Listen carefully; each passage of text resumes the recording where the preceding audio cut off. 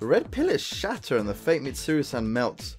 Persona fragments the, the melting fake spits out float up, becoming a ribbon of golden light flowing to the top of the tower, so he's going to get even more energy. We're able to escape danger, but that damage we've taken isn't light either. Can't just run off and chase after Minazuki immediately. In any case, let's sort the situation out. Give Yosuke and Chie some time to recover. We agreed to now to sweat suggestion and start sifting through all the information and speculations we have. Sho is conspiring with the other Minazuki, and they enveloped this town in red fog. They then set things up so that we would fight our fakes here. When Persona users fight inside the red fog, their persona is carved off into fragments, which are being harvested at the top of this tower. So the whole time, this P1 climax was just to gather our persona fragments, right? Right.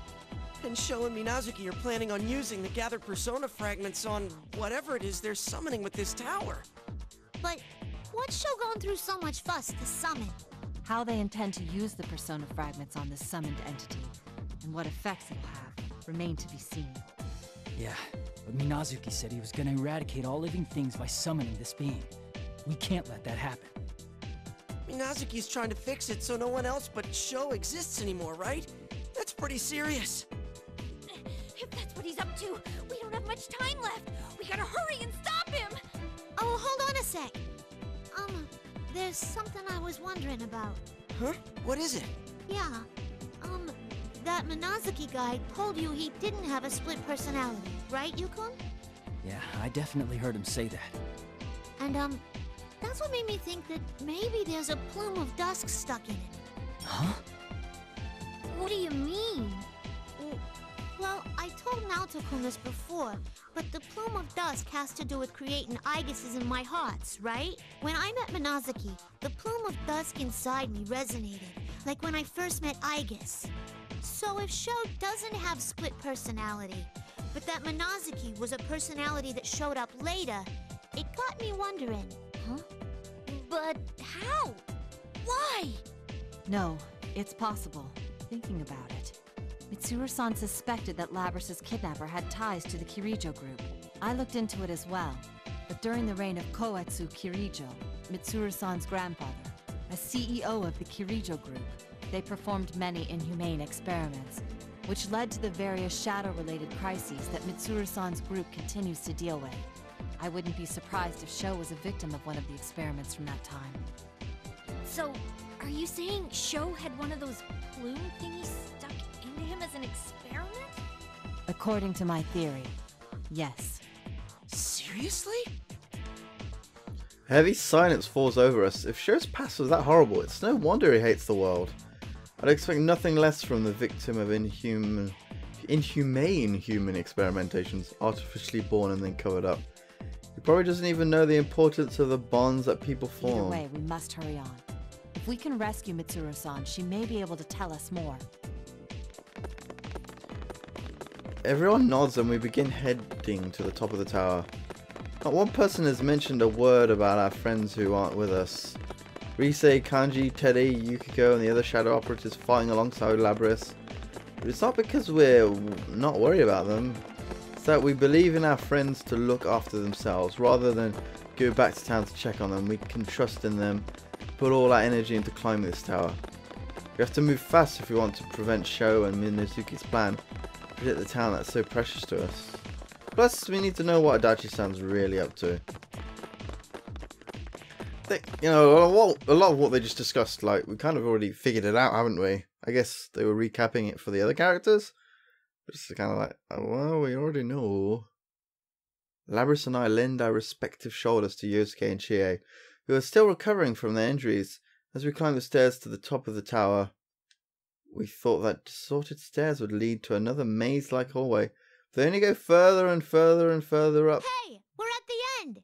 There's a door. This is the door to the rooftop, right? I'm going to open it.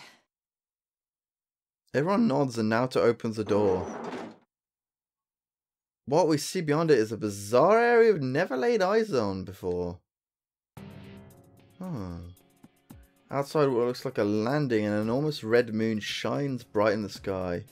There are countless cross-like objects embedded all over the ground too. making it seem like an execution ground. is this? It's not part of Yasogami High. That much is certain. I've never seen this area before. Hey! Over there! Is that Mitsuru-san? Just like we saw on the Midnight Channel, Mitsuru-san is bound to the cross GA points to. Is she unconscious? Her head hangs limp and she doesn't react to Labrys calling her name. As we try to hurry over to her, a figure moves to block our way. Deploying enclosed battlefield. You will go no further. The summon red pillars fall from the sky and surround us. Even here, they're forcing these battles on us. I've been waiting for you, sister. You ain't Aigis. You're a fake too. Elabris is right. That burning golden hue in the figure's eyes is a dead giveaway that it's a fake. Indeed, I am a fake, sister. But is the distinction necessary for us? What? We are weapons forged in the shape of humans. Aren't we all fakes from the start? Fakes of humans. Have you forgotten? We have no comrades. You even fought and killed your sister units, no? Damn it! Labrys, don't listen to her! Labrys past. It's filled with gruesome memories of battle. Her makers advanced the product line by having their prototypes fight each other. She was forced to destroy her sister units. Basically, kill the rest of her family, but It's okay, Yosuke. What? But Labrys will be alright. that's right. In the P1 Grand Prix, Labrys faced the shadow within her and accepted it. Our Labrys standing with us now shouldn't be swayed by such a cheap trick. What's wrong, sister? Do you not hate humans? Yeah. I do hate humans. Then, But not like how you mean it. sister, As much as I got a grudge against humans, it was humans that saved me. Yeah, the ones who made me did horrible things to me. To all the ones of my model. But hating all humans because of them is wrong. I like Yu-kun, and Mitsuru-san, and all the rest of them. It ain't right for you to destroy the world they all live in. how unfortunate. I would have thought that you could understand my master, Sho Minazuki's desire for solitude. His solitude. Don't waste your breath. I will see you die here, sister. The fake Aegisan charges towards Labrys at high speeds. This isn't good, Labrys is tied up supporting Chie and is in no position to fight back. I have the same problem propping up Yosuke too, which leaves only one person who can deal with this right now. Naoto, I'm counting on you. You don't have to tell me.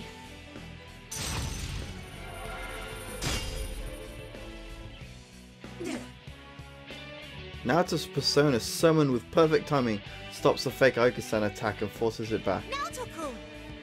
great move, Naoto! You really helped Naoto-kun. Nonsense. Let's make ourselves clear.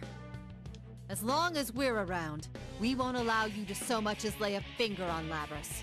I don't know what kind of solitude you or your creator is suffering, but we don't lightly forgive anyone who hurts our friends.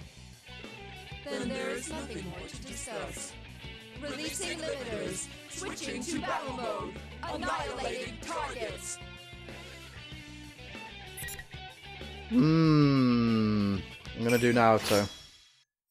Just because, even though Labrys would be more appropriate, but uh, they're facing each other right there, so it kind of seems appropriate. Hmm. I wonder, um, if if like uh, Persona Five is going to be uh, like in 2015, or if it, they're going to like because most every single Persona game has been in the future. Uh, unless we're talking about I think Persona, Persona 4 Gold might have been actually the practically the right time actually when it came out in Japan. But they've all all been like about three years ahead, so I wonder how how that's gonna go. And I'm, I'm not I'm not playing perfectly, not, not too bad. Um, That's a little. As I've said a thousand bazillion times, it's hard to talk and like play a video game. You know. There we go. Game over. Well, Okay. KO. Alright, we won! Yeah, we sure did. That wasn't too difficult. Hopefully, we get some backup soon. I imagine we will.